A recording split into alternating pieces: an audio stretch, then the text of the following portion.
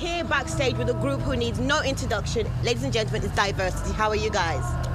Good. Yeah, good. Yeah, yeah. good, good. good. so we're behind the scenes at Graduate Fashion Week. So guys, tell me, what does Graduate Fashion Week mean to you guys?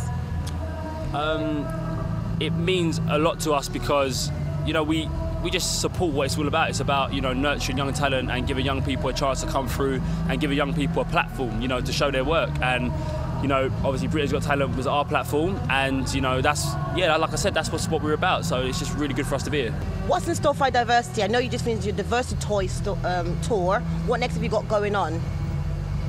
Uh, we've got a tour coming up at Christmas. Basically, we did the tour, it finished just under two months ago, but due to popular demand, we're going to hit another one at Christmas. Same thing, but with a Christmas twist.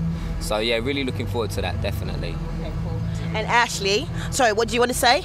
I said tickets on sale. Make sure you get yours. Well,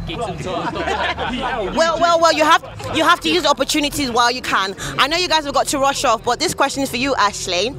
You were the face of River Island's Graduate Fashion Week collection. How do you? How did you? How was modelling for you? How was that?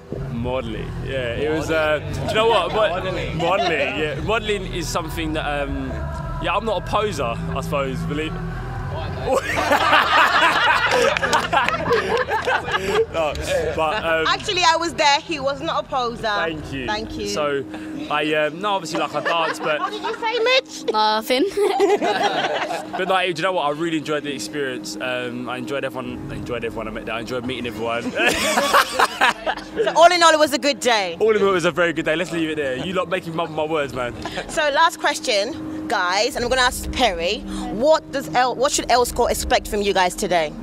um, that we're we've come with something that. n- Um, You have no idea what no. you're about. Okay, hang on. Let's ask.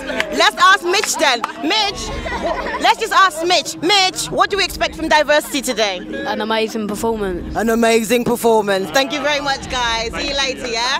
Cheers.